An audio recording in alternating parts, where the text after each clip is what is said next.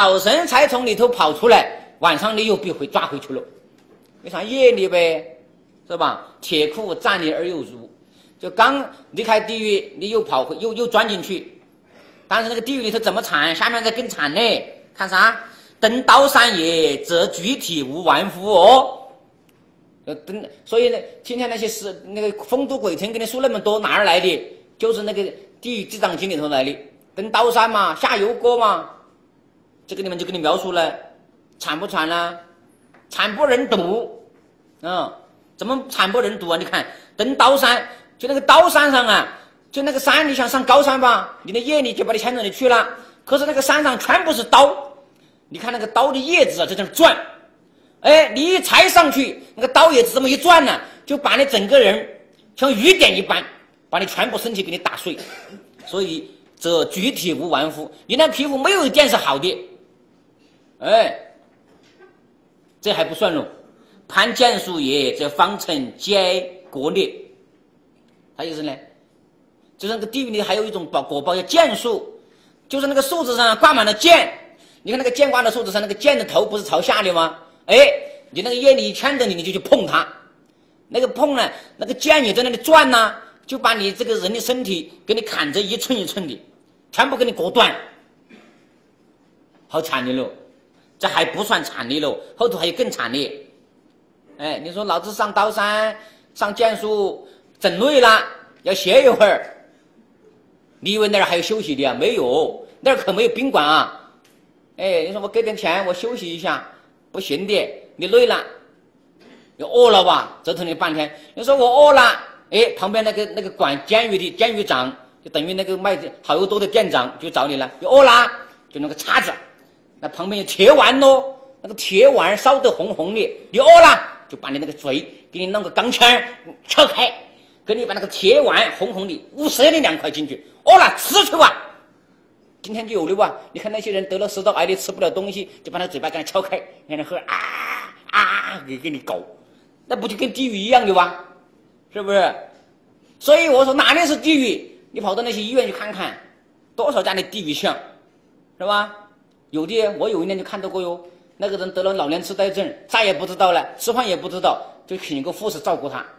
那护士就拿个那个钢的条根，就使劲一边一个把那牙齿给他拗开，就把那个饭用个条根嘛吃吃，让你吃，不就跟这个一样的吗？啊！所以你看，热铁不出击，吞之则肝肠尽烂。啥呢？就刚才我跟你讲的嘛。你说我上刀山也累啦，跑剑术也不要搞累啦。我饿了，饿了，好了。那个那个狱卒，就是那个管监狱的人，管监狱的不是人啊，管监狱的是鬼啊。管监狱的啊，就说你热了，你饿了。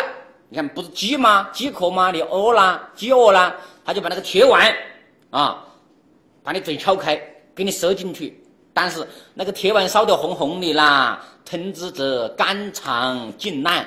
那个热铁碗，你想想看，吞进肚子里头，那肚子里全是火啊，就把肠肝肚腹都给你烧烂了。但是我也奇怪了，但我没研究过啊，没有发言权。那个地狱的人还有肠子啊，是吧？恐怕也有哦，这经常写的吧，不会错的，是吧？肝肠尽烂，你想嘛，那个铁碗吞下去，不把你肠子、肚子全烫坏呀？什么大肠、小肠、胃？是吧？五脏六腑全给你烧焦了，你还吃不吃？你说我不吃啦，我渴了，我口干，我要喝水。哎，那个地狱的地狱长就说：“你喝水呀，来，干嘛呀？羊童难了渴，饮之则骨肉都密。你不是渴了吗？旁边就给你准备好的，用铜子烧好的水。哎，你要喝，嘴巴张开，弄个出来给你舀一碗喝去吧。那个铜水呀。”你看，咬进你肚子里头，你吞下去，骨肉都烂都密，那个密是烂的意思喽，就是你骨头啊、肉啊都给你烫坏了，苦吧？这还不算，还不算惨烈，下面还有地具解之，则断而复续。嘿，你说我这个时候，哎呀，我不渴了，嗯，我不喝你那玩意儿了，不喝了，好了，进入下一程序，就等于你搞电脑一样的，是吧？给你搞连接。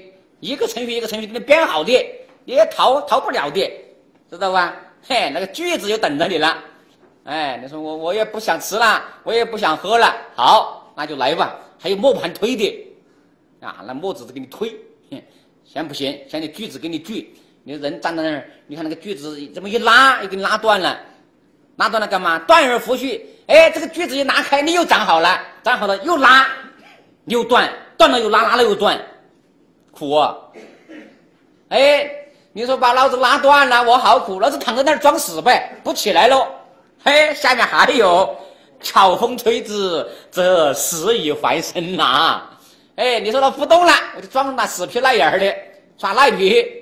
不行，躺在那儿也不行。哎，旁边站一个风一吹，你又醒了，你又活了，死而复生。哎，生了，那你说我不在，我不去了，那个地方太苦了。嘿，你刚一生，猛火城中，忍听叫好之惨呐，干嘛呀？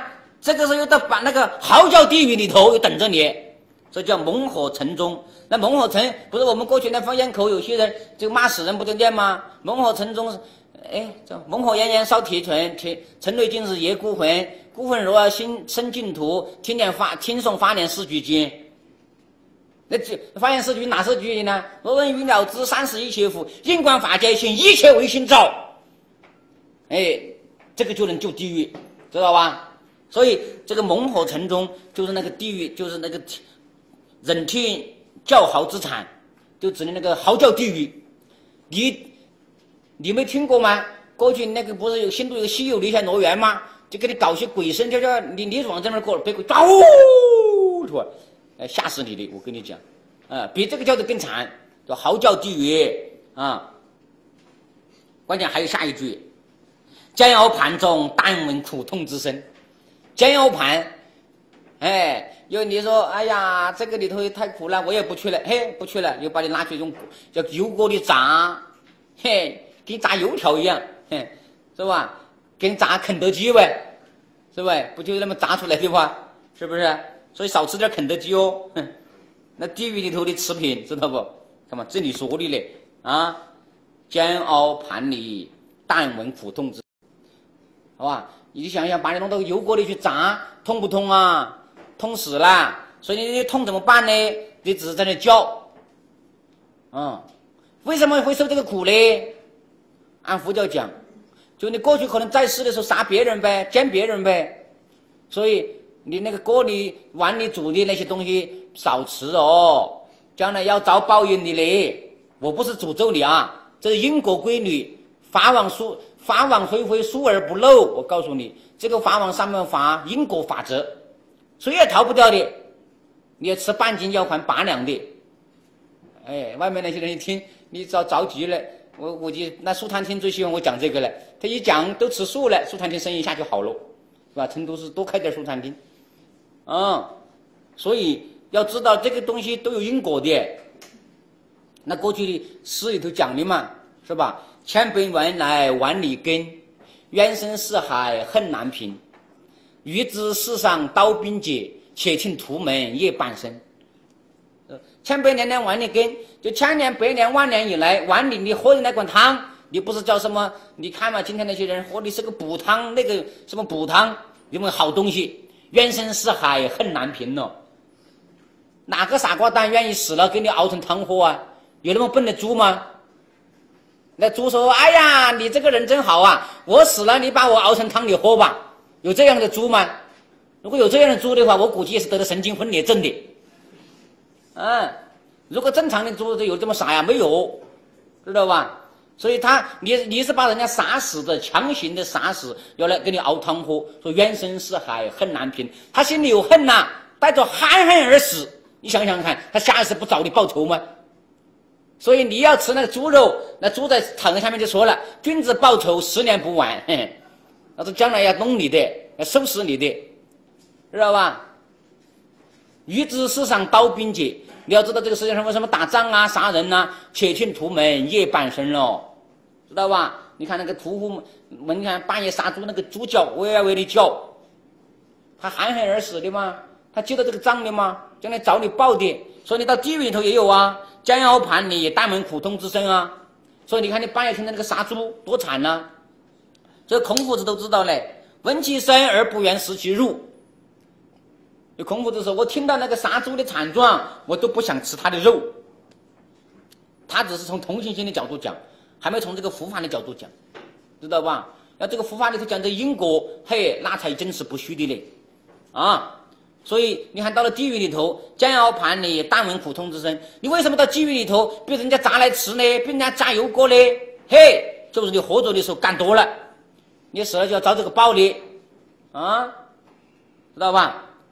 这还不算哦，这个是八寒八嚎叫地狱，嗯，这个是热闹地狱，下面还有啥呢？冻结死灵，则壮士青年锐捷；血肉既裂，则生如红藕花开。那个字念花，因为过去那个花的大写字跟这个跟现在那个花是通的，所以他把它一简体，就变成这个花，成了花了。所以那个是花啊，身则身如红藕花开，这啥意思呢？这就是讲的那个八寒地狱。你说我冷，我热了，哎呀，太热了，我我受不了了。好了，下面又给你准备好了，自然啥子啊？这个叫什么？自动进入程序。嘿，哎，那下面就你冷，你热了，好了，这儿给你开个门，你钻进去。什么八寒地狱？那八寒地狱啥味道呢？冻结死灵，就是你想那八寒地狱，比你的空调，你可能测不到温度的零下哟，比你那北极啊，恐怕都还要冷的嘞，那里头。是吧？干啥干啥呢？什么冻结死灵？就你在里面热嘛，开始是热嘛，嘿，你一进来把寒地狱把你冻了，就凝固了，这壮士青年锐捷，像什么样子呢？就像那个青莲花，就是那个你在地狱里不动啊，冻得发紫，跟人间一样的。你看那人被冻了是不是发紫的嘛？是吧？状如青莲锐捷，就那个莲花还没开花苞苞。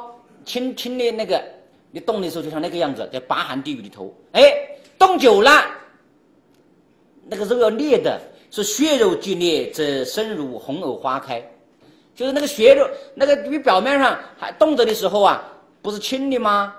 是吧？可是冻久了，那个你看那个冰不是冻久它自然要裂吗？你看你你在冰柜里冻个东西，时间长了那个自东西自然就要裂，就温度的原因嘛。所以一会儿把它冻了以后，那个。自然裂开，裂开以后，里面上那一层青的一崩开，里头血乎乎的，脏哇哇的，是吧？血肉俱裂，则身如红藕花开，就像那个花，你看那个莲花一开以后，一瓣一瓣的，啊，你那个人的身体就是那个样子啦，在地狱里头，啊，惨不惨喽？你看，这都是给你讲的地狱的惨状哦。所以为什么你抢的地狱这么苦？算了，我要好好修行了，我可不要做地狱头了。说今天那些人呢，你为什么？不好好修行呢，你就是不知道这个地狱的苦，出生的苦，变恶鬼的苦。你要知道了，你你你你敢不修行呢？你敢不认真加紧用功夫啊？所以为什么让你念多念地藏经呢？嗯，但是过去有个人写那个什么极乐世界游记，其实我就该提倡写个地狱游记，对吧？好像有人也写了一个，我一看那叫啥地狱？那简直像出国旅行一样。嗯，那地狱里头这些惨状，他那里头都没有嘛？是不是？他描写的跟人间一样，那就不叫地狱。这些下面都还不如，还不算惨的。下面还有，还怎么个惨法儿？一夜死生，地下每经万变，就是那个地上经常讲的嘛。一日一夜，万死万生，啊，就是我们一夜之间的这个死生啊，在地狱里头已经了五千万遍。你比如刚才吧，哎，把你弄来那个一烫，你又死了；风一吹，你又活了；活了又把你弄上去。你又死了，死了风一吹，你又活了，知道吧？没有消停过的，一遭苦痛，人间已过百年。就是你在那个那个，就是在地狱里，哎呀，我受苦不尽。但是你受一刹那的苦，人间就一百年的时间。所以，那么你想想看，你在地狱里面有些那个苦，受苦无期，那在人间要经历多少万万年，你都出不来的，知道吧？所以平凡狱卒疲劳。那个狱卒是啥？就是那个管地狱的。嘿，你说那还好嘞，老子现在到了那个地方去跟阎王收个行个会，让他我到地狱里去，让我去当这个玩意儿吧，去管那些坏人，管地狱，是吧？当个店长，你以为那是你想当的？这个狱卒不是真正真正人堕的，他可不是造业变成狱卒的。这个狱卒是谁啊？是你到到地狱里头去，你自行所现的，不是真实的。就是因为你要遭这个报，你就现这么一个景来惩罚你，实际上最后还是你自己惩罚你自己。哎，你以为嘿这个地狱还好哎，还要当官的嘞？极品啊！你以为还厅级干部啊？没有，那是你自行现的，知道吧？因为你业力的缘故，所以频繁狱卒疲劳，所以你天天在那个地狱里头万死万生，把那个狱卒都累得不得了了。随信阎王教诫哟，啥意思呢？阎王有教诫的嘛，让你少干点坏事，别到我这儿来。可是你就不听，你偏要干坏事。你来了，你干了坏事，我想让你不来都不行，啊，你就必须要来。受死之苦虽愤恨，你何追哟？那意思呢，你受苦的时候，你站在那个遭受那个苦苦苦报的时候，你觉得哎呀好苦哦。但是这个时候干嘛呀？所以悔恨，你何追哟？就你这个时候悔已晚也，来不及了。早知现在，何必当初呢？是吧？你少干点坏事，少做点恶业，你自然就不会到这儿来。但是你来了，但是这个苦报，你才想起来，哎呀，早知道哦，我不该哦。说这个人间呐，就这个样子的。所以大家今天啊，你别老是说早知道我不应该，早知道我不应该这样，早知道我不应该那样。你没有早知道，哎，你愚痴没智慧。所以要好好修行呐，要文经，要听经闻法呀，要开发智慧呀。有了智慧，你就知道哦，不造业，你不造业就不感果啊，你就不会受苦啊。但是有些人干嘛呀？脱以还王，其作业也如故。有些人在地狱里头受苦受尽了，又出来了，但是脱衣还王，他又往那个地狱里头苦了，又有隔胎之谜了。其作业也如故，又造业，跟原来一样的造业，知道吧？你要知道啊，你还造业啊？你造了业，将来还要去那个地狱里受苦受报的。这这句话的意思，就跟我们的民间老百姓讲的话：好了伤疤忘了痛。这个就是六道轮回里的众生的劣根性。嗯，其实唯识中有个名字叫一生性，就指的这这些玩意儿，就是我们今天讲劣根性。啊，就是把痛苦开始苦，一旦把这个苦一过，他又亡了，他又忘乎所以，哎，又在那造新的业，造了以后干嘛？到了一定时候，你又去呗，又去报道呗。所以就这样，在六道轮回里头，生生世世，世世生生，子子孙孙，无穷尽也哦。你在这轮回里头不得处理，知道吧？你看这一段以上，就是讲的地狱的惨状。你想想，你描述这一下，所以为什么呢？过去庙里给你竖个十王殿，对吧？磨子推上刀山的，下油锅的，锯子拉的，哎，钢叉叉的。过去有个站子，好像也也跟这个有关系，就一架钢叉叉呀叉过来，我都过去都唱过，嗯，就是讲就是那个阎王殿里头的事儿，知道吧？为什么过去要说这个呢？有教化意义。那人跑到那个里头去参观，哎呦，将来死了要变得那么苦，那我不能干坏事。说今天因为没有这些教材了，哎，大家都不知道了，所以就不知道自我修善了。但是很危险嘞，你要不自我修善，不知道好好修行，我告诉你，你可到了地狱里头，那个时候你就悔之晚也。这不管我们今天在这里出家的师傅也好，是在家的信众也好，哎。大家要仔细思量哦，到了那个时候谁也替不得哟，嗯，就像那个《探骷髅》里头讲的，到时候一生罪业谁可替得半分呢？这个里头可以没有转移的哟，可没有贷款的哟，所以你贷不贷呀？我贷点业障给你，可没这回事儿嘛，是吧？到时候你都自作自受的哦，所以你别今天等闲视之，好像哎呀我无所谓，麻木不仁，你试试看嘛。到那时候你就知道了。到了那个时候，就是这上面两句话：“受死之苦虽很会，以何追哟？”那个时候你想有办法都没有办法了。为啥？业报向前了，哎，就等于那个车一样，上了高速公路了，停不下来的啊！你知道到了那个地方呢，由不得你了。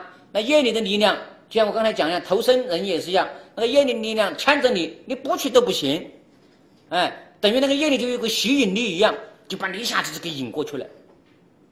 我不知道各位有那个感觉没有？我过去小时候，他夏天嘛热啦，就跑到那个河里去洗澡，背着父母喽。我们那里有个大河，大河涨了水呀，那个河那个水就很快哦，在那些回水的地方就那个漩涡，我就我就有那个经验。嘿，你游游游，不小心到那个漩涡那个底了，砰一下就把你搅下去了。你想你想说，哎呀完了，这一下该弄死掉了，你都来不及了那个时候。所以你投身的时候那个感觉就有点那个感觉，你知道吧？那经典上描述的。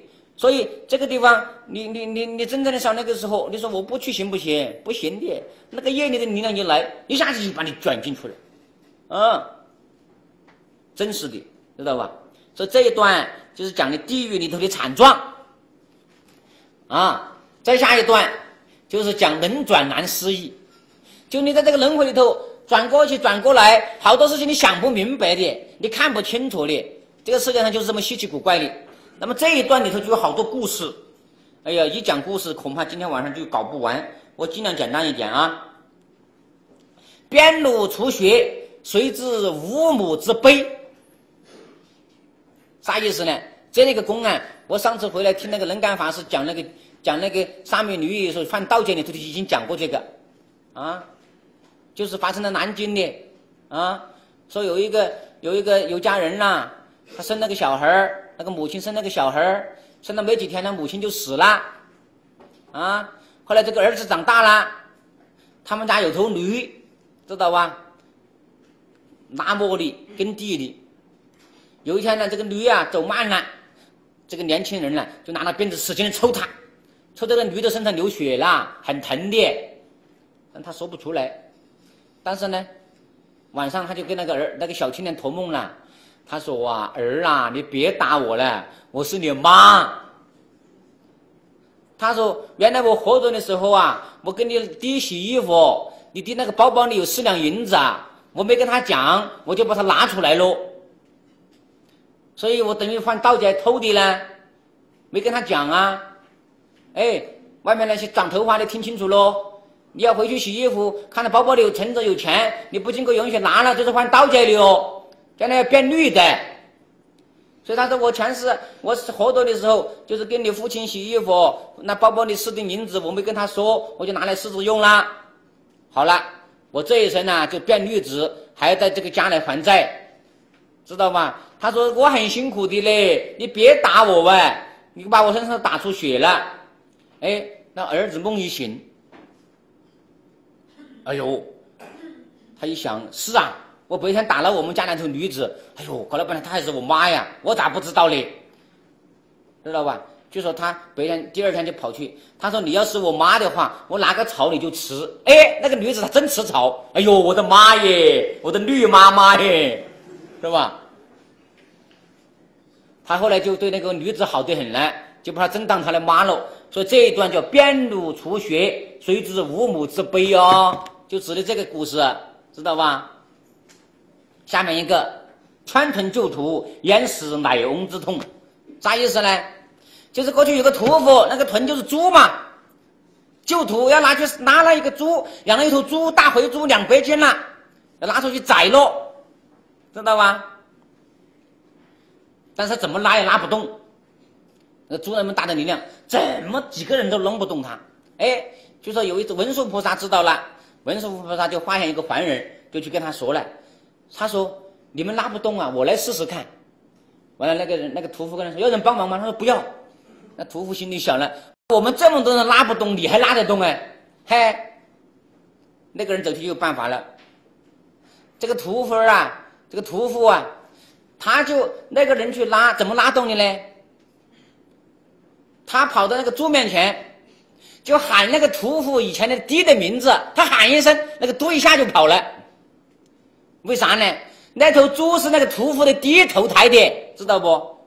所以他喊他爹的名字，那个猪就听懂了，哎，他就自己就跑了。所以这个就是说，你杀了这头猪啊，你怎么不知道他是你爹呢？他知道痛的，所以让他去杀，他就不跑，他不动，知道吧？所以这个故事是指的这个。下面还有喽。失其子而不知，文王丧耳。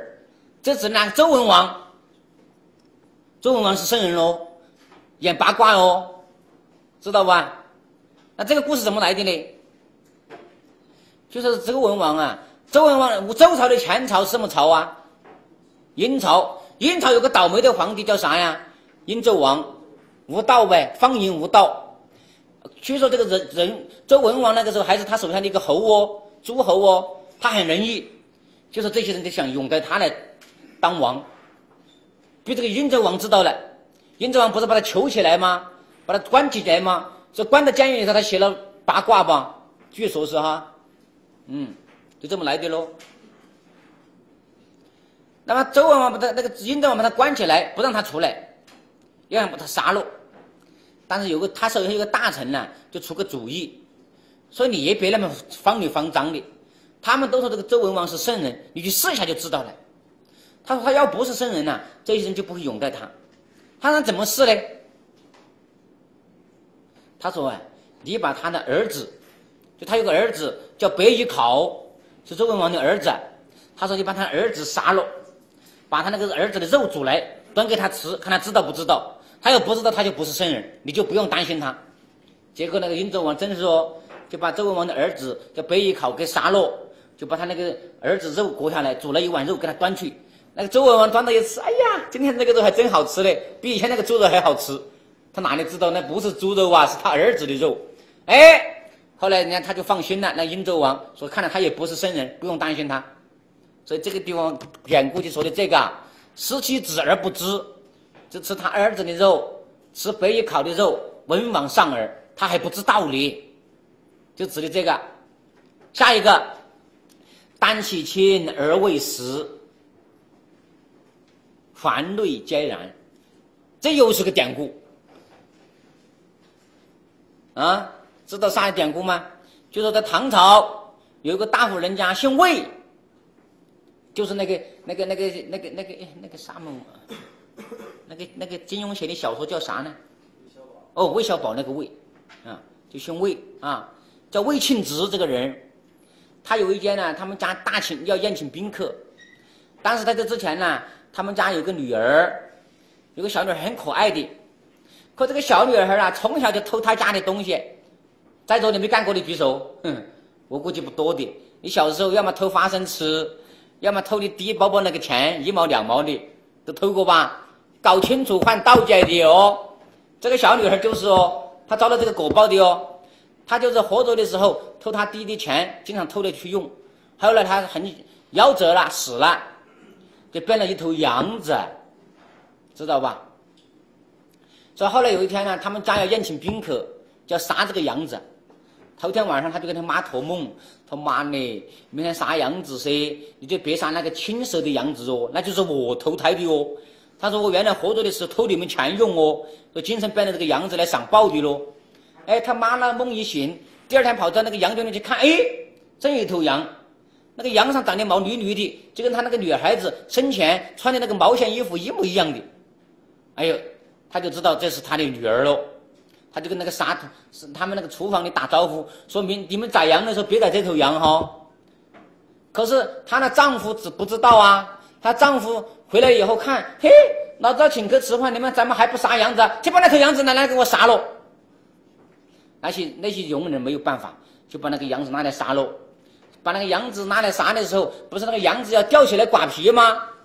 正在这个把光把那个皮剥好的时候，还挂着的时候。宴请的宾客就来了，一看，嘿，说这家的人奇怪嘞，请我们吃饭，把个小女孩给吊起来，所有人都看清楚那是个小孩小女孩了，就他老爹没看见，知道吧？就把他杀来煮了，中午吃饭就摆了摆在桌子上了。那个魏青直接喊各位请呐，请呐，请吃羊肉哈，那些人都不拿筷子，哎，他就搞不明白了，哎，嫂子你们咋不吃呢？嘿，他说怪了，你们请你请我吃饭，你怎么弄个小女孩的肉给我吃呢？嘿，他越听越奇怪了，他就又问，他的妻子就告诉他了，说这个是羊啊，是我们前世那个夭折的女儿投胎变的。哦哟，他一听恍然大悟，所以这这个就这里，但其亲而未食，就吃他亲生的女儿的肉，他都不知道，凡类皆然哦。这个世界上很多事情都这样子的。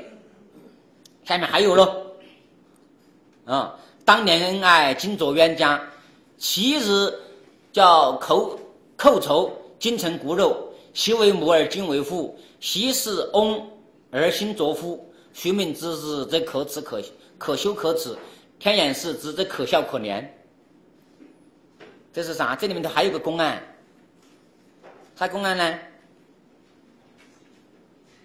就是有个人呐，有一对夫妇生了个儿子，不久，她这个丈夫就去世了，她这个妈呀就特别喜欢她这个儿子。可是没过几年呢，她这个妈也死了，知道吧？这个妈也死了。就到给你不远的村庄投生了，就投了变成一个女儿，变成一个女的女孩子，因为她她生前的时候担心她这个儿子嘛，所以她死了变成一个女的了。后来没多久啊，她就嫁给他这个儿子了。但这生不是儿子了啊，这个儿子比她大几岁，就嫁给他了，嫁给他当他老婆喽。哎，他们两个又很恩爱，因为他全身就有这个牵挂，又生了个儿子。这个儿子是谁啊？这个儿子是以前他们家的头人、仇人投的胎。哎，有一天，这两夫妇喜欢这个儿子啊，又杀了一个鸡，炖了鸡汤，正在屋子里喂这个小孩吃鸡肉啊，然后寻欢作乐的，很是高兴。这个一个出家人跑到家里去了，这两个人就不高兴了，说这和尚怎么不懂规矩呢？跑到我家里来干啥？那和尚说：“我不懂规矩，你才不懂规矩嘞。”你才可悲呢！说为啥呢？说你吃你爹的肉，娶你妈当老婆，养了仇人的孩子。说你乱说啥？他说啊，你们吃的那只鸡，就是你过去的爹来投胎的。你现在娶的这个老婆，就是你的妈去世以后投胎转过来的。你们现在养的这个儿子，就是过去你们仇人家的儿来死了投胎来当你的儿子来收债的。你可要小心，知道吧？所以你看这个地方的嘛，当年恩爱今作冤家，就有些人当年恩恩爱爱的，后来成了冤家仇敌了。昔日寇仇，今成骨肉。就以前呢，你们两个是仇人，是冤家，今生你搞不好又成骨肉兄弟姊妹了，是吧？昔为母而今为父，就做的这个吧。他上一世是他的妈，今生就给他当媳妇儿啦。就是翁而新作夫，就是。过去是他的那个爹，今生就跟他做丈夫，哎，他不相信，哎，这个和尚说，那这样子，我借这个神通给你看一下，所以那徐明，那么和尚这个和尚有神通的，才宿命之子，这可可耻可笑。他本来有宿命通，他就知道，所以他就跑去笑他可怜嘛。但是这个人不信呐，所以那没关系。他说我借这个天眼给你看一看，所以那个那个。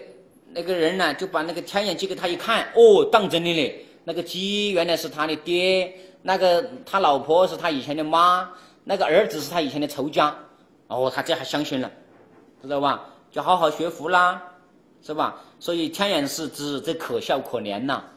哎，那真是可笑的，嗯，哪有天下这样的事情呢？哎，你看仇人成了他的儿子了，所以他一下就醒悟了，幡然悔悟。就开始学佛，说他的儿子后来也被教化了，就没报仇了。那不然他找找他报仇的。过去有这样的事情多喽，所以遇到这样的情况，如果你们将来遇到这样的情况，你今生就要解决哦，不要等来生喽。来生这个叫了不完的。就说当年那个南海法师出家就跟这个有关系。南海法师啊，过去是团长哦，当官的哦。就成都的警备司令都当过的哦，城防团团长，是吧？卫戍部队，他当然过去当兵嘛，难免杀过人喽。所以他出他那时候出家很晚的，他出家都快四十岁了，他前面生了三个女儿。哎，有一天他在公馆里头，过去叫公馆嘛，在公馆里头中午睡觉，这个躺一看什么躺躺摇摇摇的，迷糊糊的，哎，就看到他以前杀过一个当兵的，那个当兵的影子就进来了。哎，他一惊醒，哎，这不是以前我枪毙的那个当兵的吗？隔了一会儿，那个接生婆就来报喜了，恭喜老爷，你们添了一个公子，生了个男孩儿。哎，那个男孩儿生出来，他给他取了个名字叫黑娃儿，叫黑娃儿，但是这个小孩生下来，从来就不让他抱，一抱他就哭。哎，就说长大了有几岁了，他就问他，说孩儿啊，你长大了干啥呢？他第一句话就出来，老子长大了要杀你。他一听，嘿嘿，他就想起他以前刚生这个小孩做那个，在那迷迷糊糊的看到那个当兵的进来，他一想，哎呦，这个家伙哎，就是我过去枪毙那个兵来投胎的，来收债的。他一想，算了，这个事情真凶险，老子是出家当和尚算了。他就那法子就出家啦，当和尚了。嗯，就是他那个黑娃儿后来也学佛了。他们那些老的老一辈的净慈师，你还讲，他后来还在净慈寺去住着学佛的。现在还不知道在不在，搞不清楚了啊，嗯，恐怕有转世了，嗯，所以那些仇家呀，遇到这样的情况，你就要好好要学佛法啊才能解决的喽。说这一段就是讲能转难思议，你想想看，这里头这么多公案，这么多故事，这么变过去，那么变过来，你哪里知道啊？你根本不知道嘞，难思难量，不可思议。下一段讲人生的苦难。啊，你看人生有什么苦呢？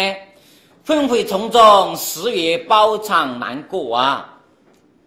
我们昨天说你父母母亲对你有恩，怀胎十月，可今天反过来讲，你在母胎里住着，愤悔从中。你看你在母亲肚子里头住着，是不是在愤悔从中嘛？啊，你呢？什么大肠、小肠，还有什么胃？你你你那个胎不就在那个肚子里头吗？嗯，又脏又臭，嘿，你还只能住在那个地方呢。昏回丛中，十月包场难过。那个十月怀胎，那个胎包把你包在里头，你很难过，你能动弹得吗？动弹不得的。所以人生一投胎就是苦。龙血道理也是倒下可怜。龙血道理，那个龙血道理是什么？就是产道。你你你你出生的时候不是有产道吗？也是倒下可怜。你看，你从那个产道里是倒着出来的，是吧？可怜兮兮的。为什么可怜？你是可怜，说你生下来就哇，你看人生下来不就哭吗？你要不可怜的哭啥呢？是吧？所以我常讲，人生生下来第一反应就是哭，什么苦啊哭啊，他喊苦噻，就哭噻，是吧？所以少也何知东西莫变，就你小的时候啊，你哪里知道啥呀？东西莫变，东南西北你都分不清楚。长而有时贪欲变身，可是等他长大一点呢？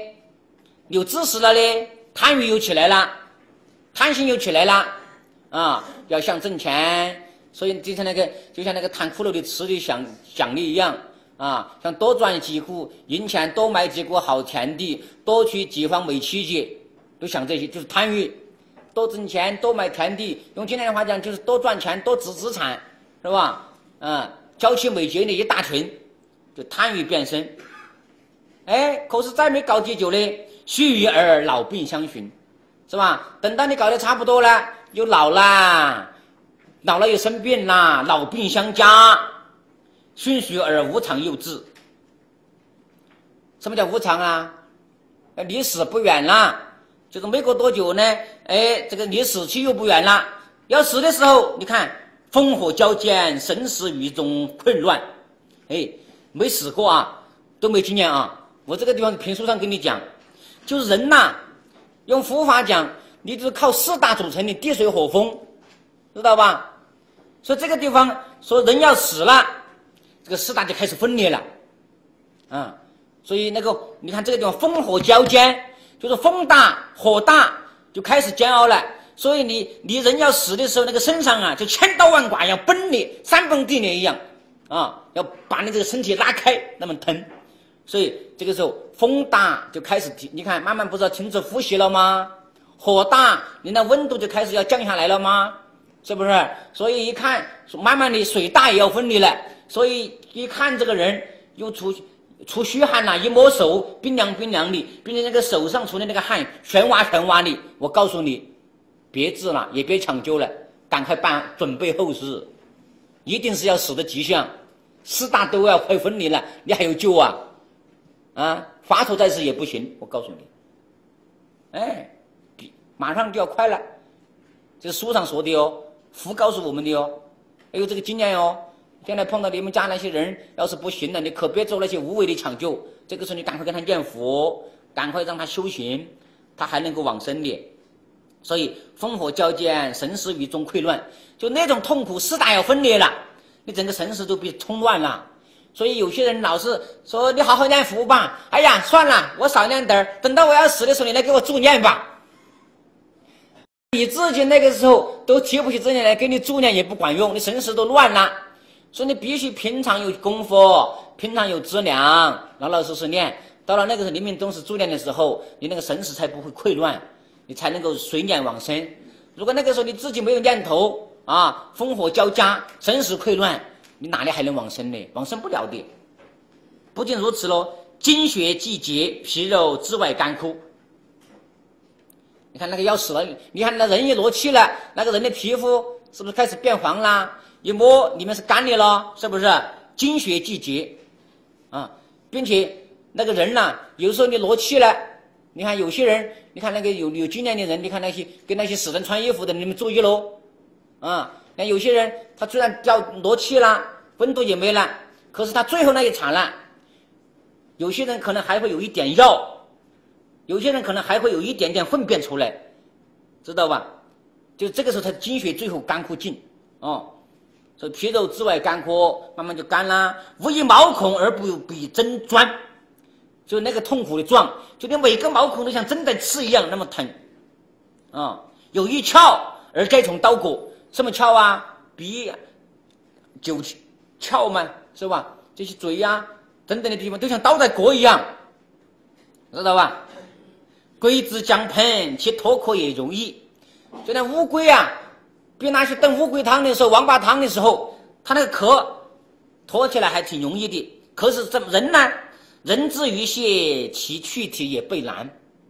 就是你人要想要死了，你那个生死要离体难的？为啥？贪心吧，业力吧。所以你看，不是过去讲个故事吗？说有个老头子要死了，三天三夜都不落气，他就看着那个灯。为啥？他一生吝啬，那个灯是两根灯草，他就是夺不了气，是吧？哎，他的媳妇儿聪明，他一看他那样子，就把那个灯铲刨掉一根，嘿，砰一下就连起了，就死了。知道吧？因为这个时候那些贪嗔痴要向前的，所以气气体也不难，所以你要断气，他有挂碍，知道吧？有贪欲，挪不了气。说这一段呢，就讲你人生的苦难。你看嘛，就从你在母胎里头讲到你死这一个过程，跟你描述出来了。人一辈子不就这么个阶段吗？你看看人生苦不苦难呐？众多的苦难。所以佛才告诉你，生老病死苦啊，苦苦苦苦苦苦苦苦，知道吧？所以那和尚他天天把这个化成修行，对吧？所以让你敲木鱼的时候，生老病死苦苦苦苦苦，敲了半天你也没觉悟，哎，那都在跟你说法呢，知道吧？所以人生就是这么多苦难。下一段，结生相续。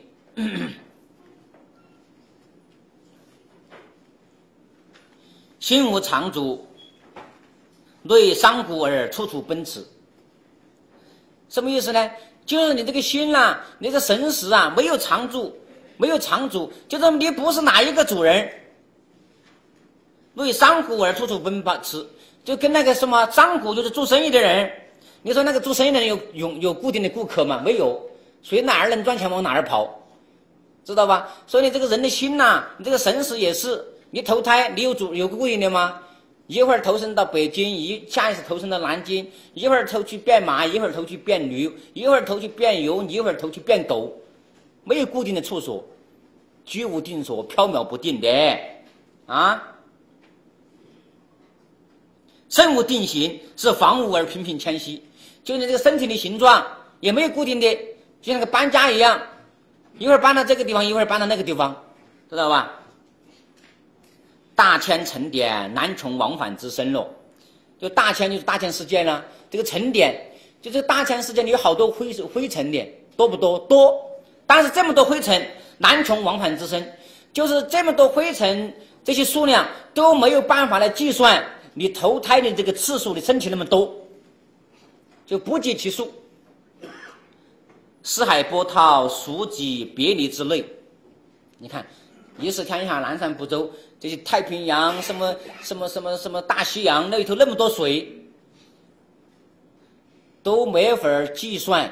你们在这个人世间生离死别哭的那些眼泪，都不知道有多少次了。我脊骨个比重山，就形容你你你每次投胎那些骨头都捡起来的话，比那个万重山峻岭还要高，茫茫横尸多于大地。就你看那个遍地白骨堆尸，那些尸体那个大地都堆不倒。这就是讲啊，你这一辈人呢，一辈子这个结生相续，你看。多少次啊？从没间断过，就像那个无盐水一样，一滴一滴的。所以为什么我把它概括成结生相续啊？这就是我们生命你遭的这个遭遇。好了，往下就是最后这一段里头，就是怎么呢？既然我们人生这么苦，对吧？我们生死苦海里这么苦，怎么办呢？就是最后一个叫依教发心，就依佛法的开导，依佛的教导要发菩提心。那怎么发呢？他说啊，相死不闻佛语，此事谁见谁闻啊？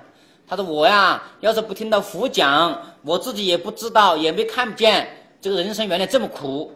这个人未睹佛经，此理焉知焉觉？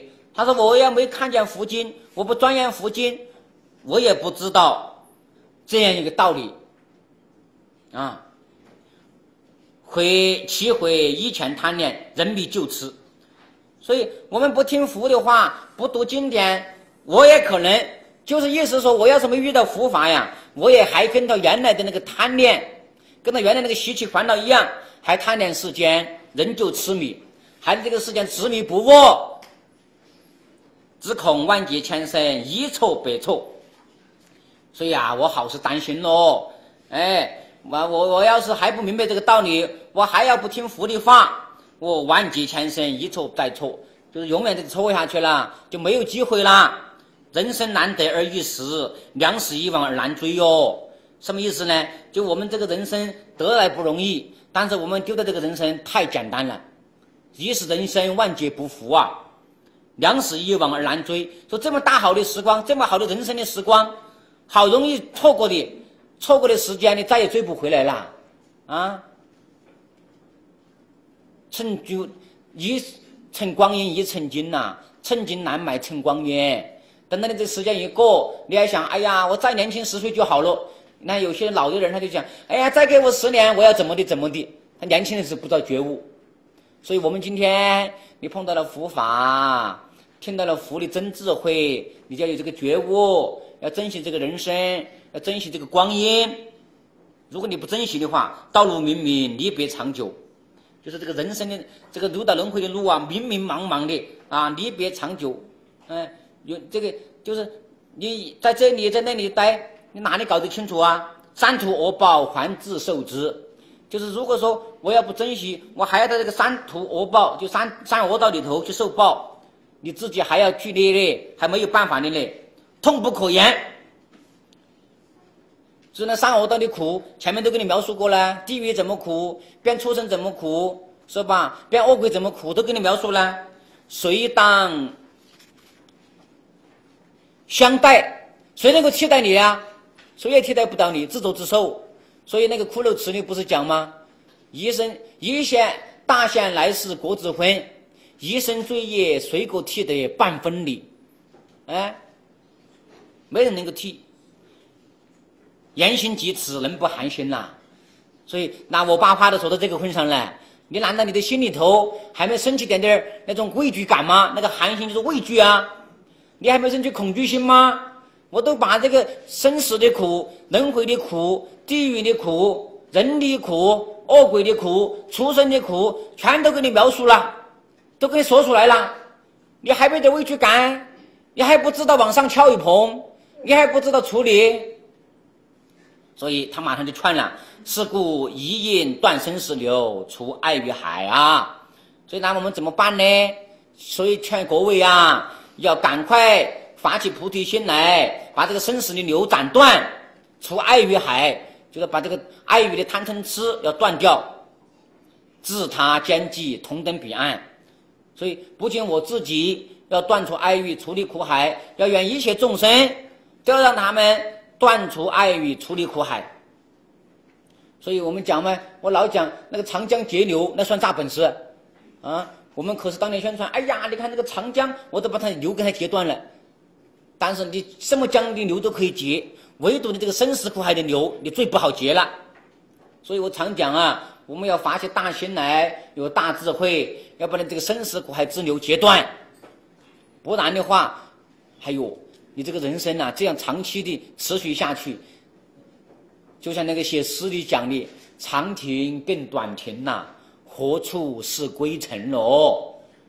这个六道轮回里头，这一生转到那一生，这一道转到那一道，哪个时候才是个尽头啊？既然我们今生有这个福报，闻到福法了，为什么还不努力呢？所以他说：“况且书勋，在此一举。”就九月无量九愿劫以来，我们今天碰到这么殊胜的缘，就在此一举了。就成不成功，就在我这一生。说这就叫什么？叫抓住机遇啊！不要错过啊！什么时候是机会？这一生就是机会。什么时候是机遇？今天当下这一念就是机遇。所以，是为发菩提心第六因缘也。所以，这个生死苦海这么苦，堕地狱也苦，变畜生也苦，你变人也苦，那怎么办呢？我们就要发起菩提心来，自他两利啊，同登彼岸，都要摆脱爱欲，摆脱生死啊，成不成？成败在此一举哦。所以这句话用我们普通老百姓的话，就是老子拼了命啊，都不辜负这一生。